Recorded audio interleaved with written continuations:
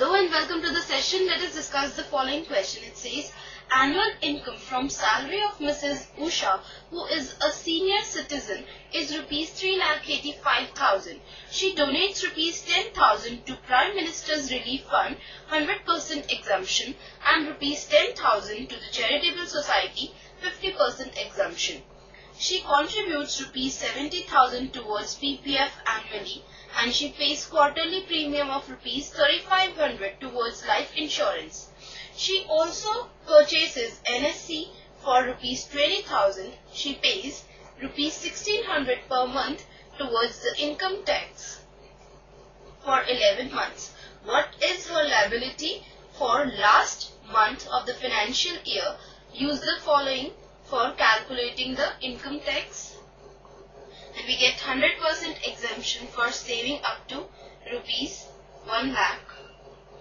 And this is the slab for the rate of income tax for senior citizens. Let's now move on to the solution.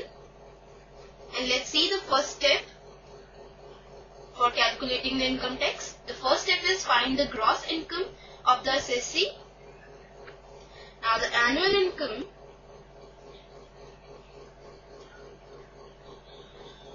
is rupees 3 lakh 85,000.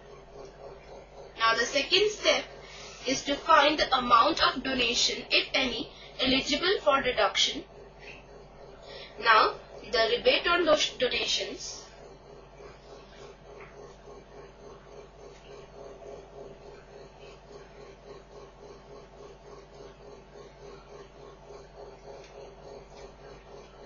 she pays, she donates 10,000 to Prime Minister's Relief Fund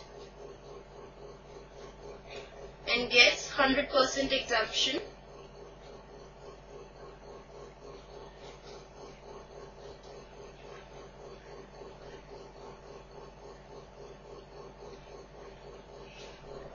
Then she also donates rupees 10,000 to charitable society. And gets 50% exemption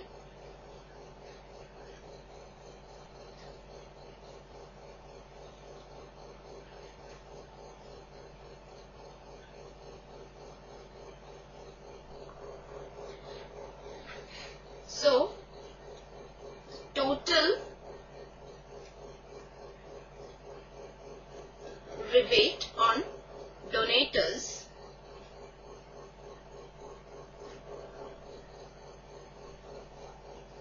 is equal to rupees 10,000 plus 5,000 that is 15,000.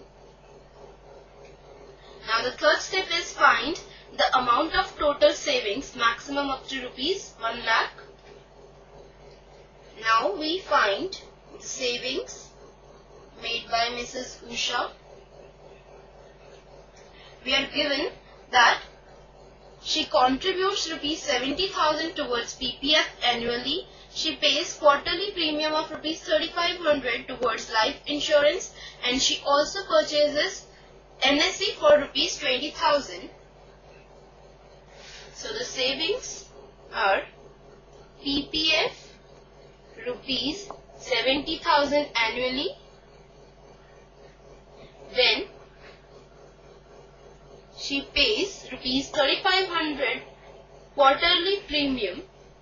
So the annual premium is 3500 into 4 that is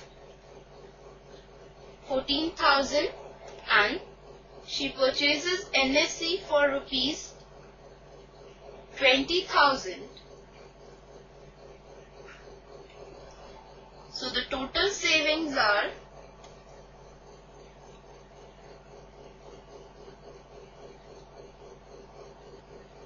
rupees 70,000 plus 14,000 plus 20,000 is 1 lakh 4,000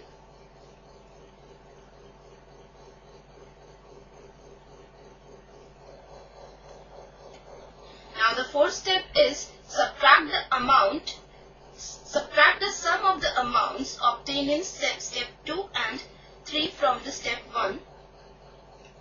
So we have to subtract the sum of the amounts obtained in step 2 and 3 from the amount we got in step 1. So step 4 is taxable income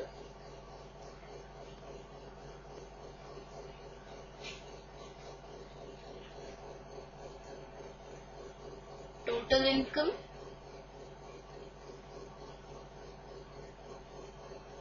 minus the sum of the amounts obtained in second and the third step that is rupees 15000 plus 1 lakh 4000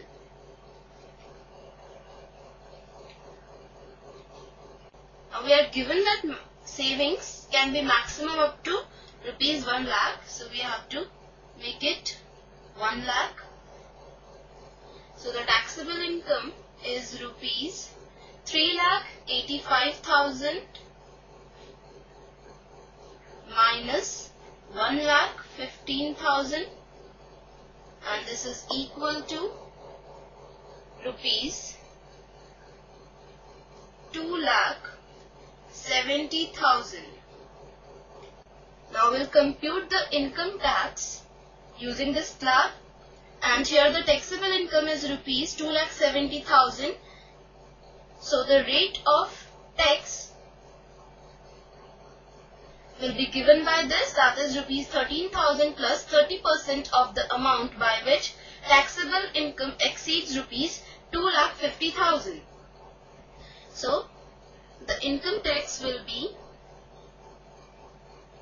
rupees 13,000 plus 30% of the amount by which taxable income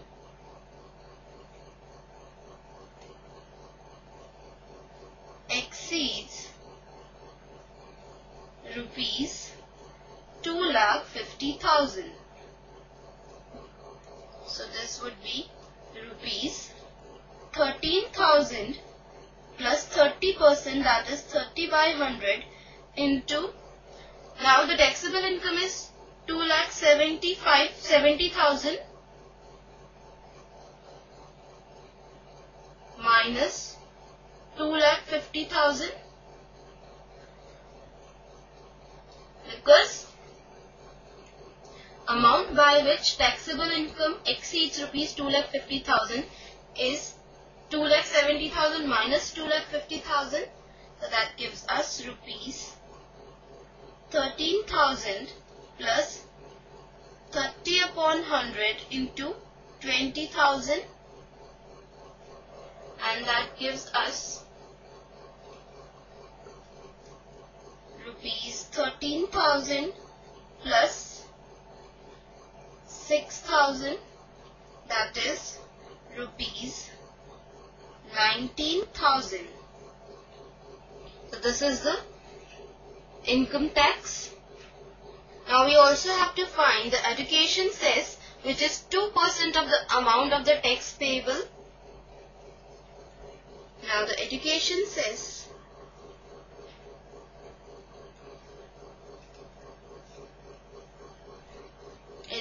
equal to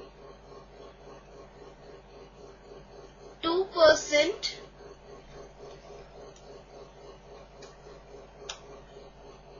of the amount of tax payable. So it is 2% of rupees 19,000 because tax payable is 19,000. So this would be 2 by 100 into 19,000 and that gives us education cess as rupees 380. Now we are given that she pays rupees 1600 per month towards the income tax for 11 months. But before that we need to find the total tax payable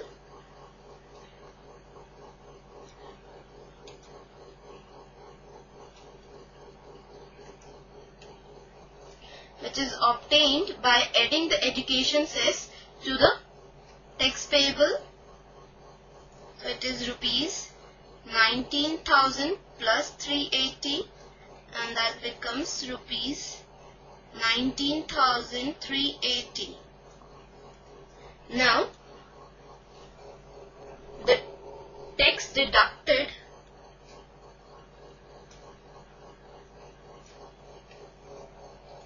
at sources at source that is TDS for 11 months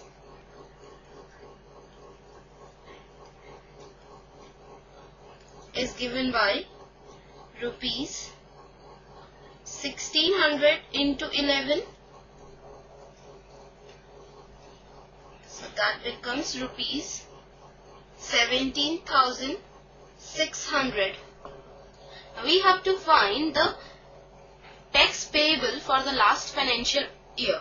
So she has paid rupees 17,600 for 11 months as income tax and total tax payable is rupees 19,380. So the net payable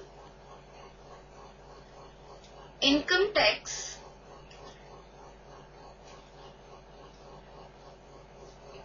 for yeah 12th month will be total tax payable